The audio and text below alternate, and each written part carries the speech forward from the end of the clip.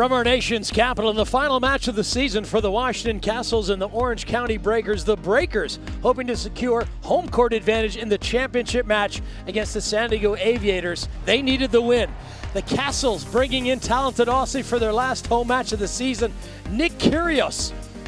He was up first in the mixed doubles alongside Andreja Klepac taking on Scott Lipsky and Alla Kudryavtseva. And this started the run for the Kastles. They came out strong, came out firing, and it was Kyrgios who was finding his Mylan World Team tennis legs. He started serving well, he was moving well. And Klepac, she was also holding her own out there, and they ended up taking that first set 5-3. Great start for the home side. Women's singles was next. Madison Brengle, the Kastle in the red, taking on Nicole Gibbs, an All-American battle. And these, this is a battle between two players who know each other's games very well. It was competitive from the start, but it was Madison Brengle who was a little more aggressive, a little more confident, and the steadier player in the end. She outlasts, outruns, outcompetes Nicole Gibbs there in the end. Yeah, Gibbs lost her opening service game, so she was playing behind the whole set. But Brengle was a tough out playing well at the net, too. She became more aggressive, Brengle, in the end, and that's what helped her clinch the second set. 5-3, they took that. Men's doubles, Kyrgios alongside his Aussie partner, Sam Groth, taking on Lipsky and Dennis Novikov.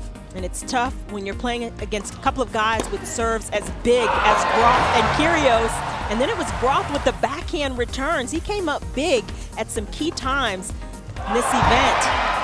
No breaks of serve, but a great chest bump for the Kastles. They take it 5-4. Women's doubles was next. Andreja Klepac and Brengle taking on Nicole Gibbs and Alla Kudryavtseva. Well, Kudryavtseva and Gibbs are the number one doubles team in Mylan World Team Tennis playing against the number two women's doubles team, and it was a great match, very competitive, but again, Brengle and Klepac just a little more aggressive, a little more steady, a little more confident above the shoulders.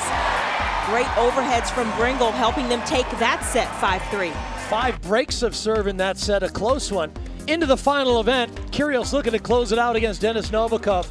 Boy, entertaining tennis from both sides of the net. There weren't any breaks in this one. Well, the Kastles were trying to take all five events of the night, and Novikov, he held his own there against some tough play from Kyrgios, big serving. Went into extended play.